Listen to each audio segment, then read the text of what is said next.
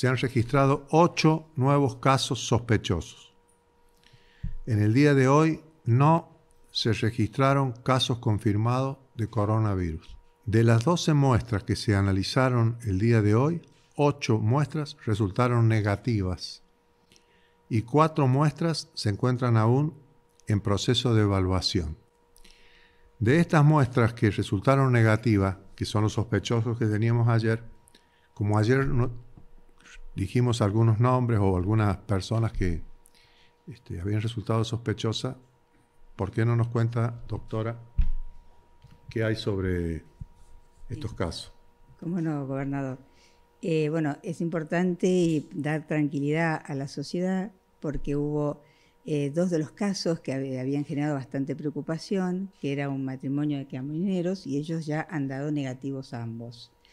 Y eh, el agente de policía también fue negativo. Actualmente hay 234 personas bajo monitoreo, todas ellas procedentes del exterior y de, otras provincias argentinas. Y hay 43 personas aisladas por contacto estrecho con casos sospechosos en toda la provincia. Dengue. En el día de hoy no se registraron nuevos casos de dengue en la provincia. Ah, eh, la otra parte que trabajó el comité de crisis, que es un tema que hoy ocupa la atención de todo el país y del mundo, es eh, los geriátricos. Los geriátricos. Doctora, ¿por qué no nos cuenta, nos habla algo de los geriátricos? Eh, sí, cómo no. Eh, bueno, eh, desde el inicio de la epidemia o de la pandemia, la provincia de San Luis ha tenido una mirada muy especial sobre este grupo poblacional, porque es el grupo más vulnerable.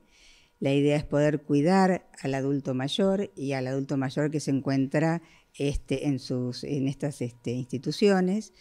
se, se ha trabajado eh, con cada uno de ellos en todo lo que son este, el control de las visitas para evitar que pudiera ingresar el virus al, grupo, son instituciones cerradas, donde eh, una vez que ingresa el virus la propagación es más rápida, más fácil.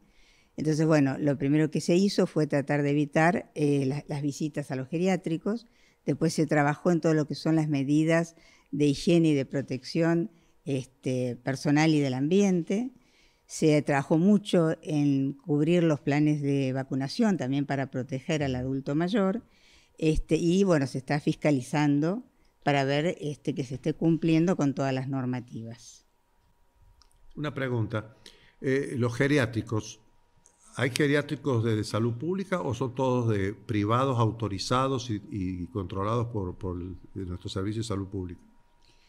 Eh, bueno, los geriátricos en su mayoría no, son este, del Estado provincial. Son privados. Son privados. Este, la mayoría están habilitados y otros están en procesos de habilitación.